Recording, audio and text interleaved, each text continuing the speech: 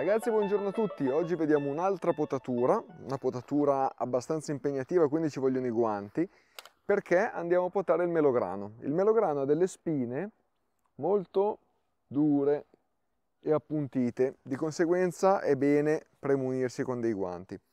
Allora facciamo una piccola premessa, vi faccio vedere la potatura, però questo melograno qui è nella zona del giardino, di conseguenza io devo curare l'aspetto più che altro estetico più che quello produttivo, perché deve avere una bella forma, una forma a palloncino che non è magari una forma interessante per quanto riguarda la, la coltivazione, quindi se dovessimo fare dei frutti. Però vi dico giusto due linee guida indispensabili. Allora, innanzitutto, il melograno non è una pianta, ma è un arbusto. È una pianta che tende a fare il cespuglio di conseguenza noi dobbiamo andare a combattere questa eh, tendenza che ha la pianta. Il melograno non è una pianta, ma è un arbusto. È una pianta, la pianta.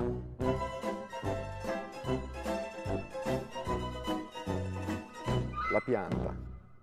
Il melograno non è una pianta. Andiamo a farla andare in alto con un tronco, ma in realtà non è la sua natura. Qui abbiamo due tronchi, perché come vi dicevo prima, eh, deve essere una cosa estetica, visiva, in questo contesto, di conseguenza io la sto coltivando in questo modo. Attenzione, partiamo. Innanzitutto, dato che eh, è un cespuglio, tende a fare tanti getti basali. E sono questi qui, tutti getti giovani. Questi vanno eliminati tutti, il tronco deve essere sempre bello pulito, e non ci devono essere altre derivazioni. Via tutto. Quindi una volta puliti i getti basali del tronco andiamo a pulire anche tutto ciò che si sviluppa sul tronco stesso. Il tronco deve essere sempre ben pulito, sia per il punto di vista estetico che soprattutto per la produzione. Quindi tutti questi getti qui, via tutto tronco bello pulito, eccoci qua.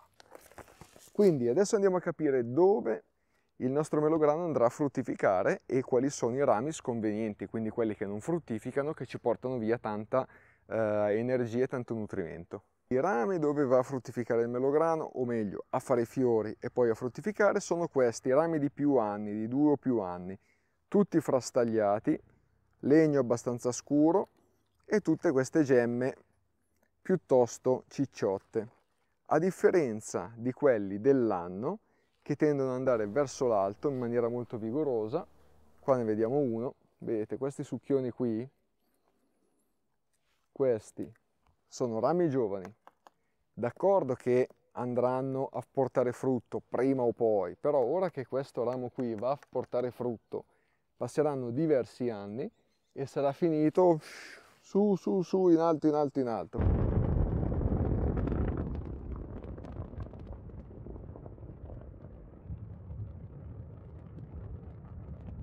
Quindi questi li dobbiamo andare a tagliare. Dobbiamo andare a lasciare questa parte qui e cerchiamo di lavorare, quando andiamo a svecchiare, andiamo a lavorare su questi rami qui. Per esempio qui abbiamo un rametto giovane, vedete com'è chiaro, lungo, sembra quello che abbiamo visto prima. Forse ci stanno tracciando, ci stanno tracciando, stacca, stacca! Che sorge su uno più vecchio, quindi possiamo fare un'operazione di questo genere. Facciamo un taglio di ritorno in modo da togliere una parte che potrebbe essere produttiva, però è vero che noi dobbiamo guardare la produzione, ma dobbiamo guardare la produzione anche nei prossimi anni. Quindi questo potrebbe essere un rinnovo della produzione per i prossimi anni. Tutti questi vanno tutti asportati completamente dalla base. Quindi avanti, prima tutti quelli più piccoli con la cesoia in modo da pulire bene la branca principale. Successivamente questi qua più grossi utilizziamo un troncarami sempre bello a filo rispettando il colletto della corteccia. Guardate qua. È al primo anno ed è più alto di me Ora che fruttifica questo, ci vuole l'autogru per andare a prendere i frutti e ci avrà preso tantissime energie. Avrà fatto impoverire la parte bassa della pianta, che è quella che ci interessa adesso, e ci avrà portato la fruttificazione in alto, facendoci perdere anche degli anni. Tuttavia,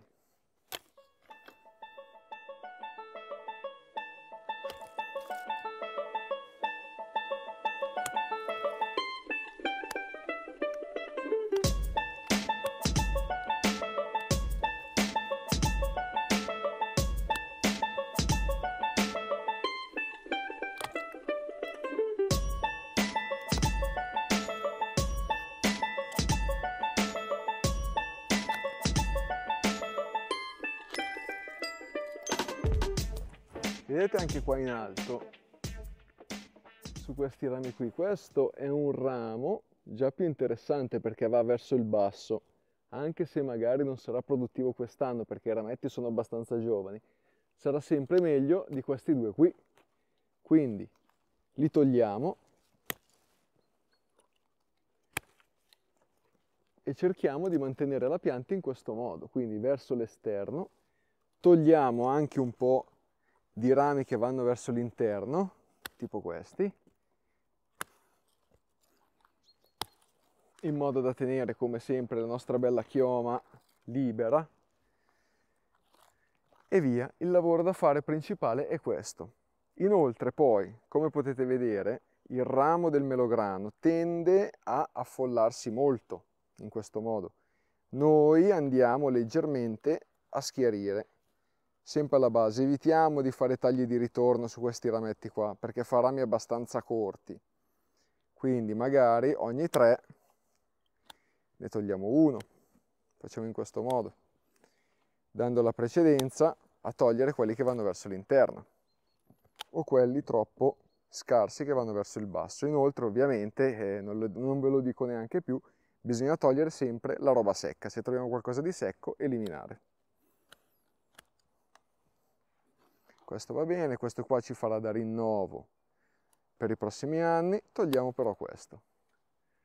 E qua uguale, abbiamo questo che va verso l'interno, qualcosa di rinnovo qua ce l'abbiamo, evitiamo di andare a cimare questi perché se no riparte a fare succhioni in una maniera tremenda. Quindi puliamo un po' l'interno, puliamo un po' i rami.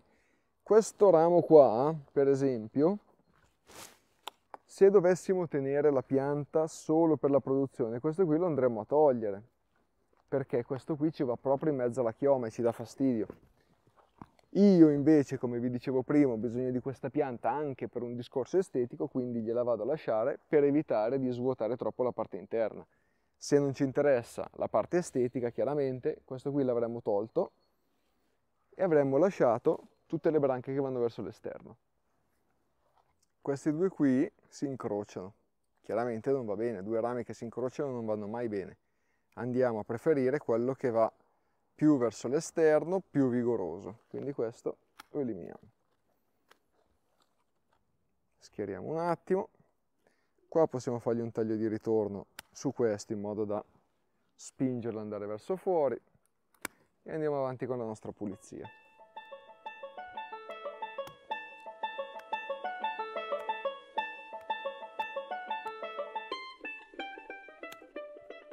Bene ragazzi, vedete in sostanza è questo quello che dobbiamo fare. Andiamo a pulire leggermente l'interno della chioma, andrebbe pulito di più per fare produzione.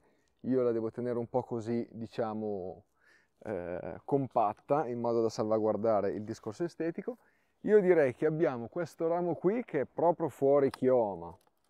Quindi come ultimo taglio direi di tagliare via questo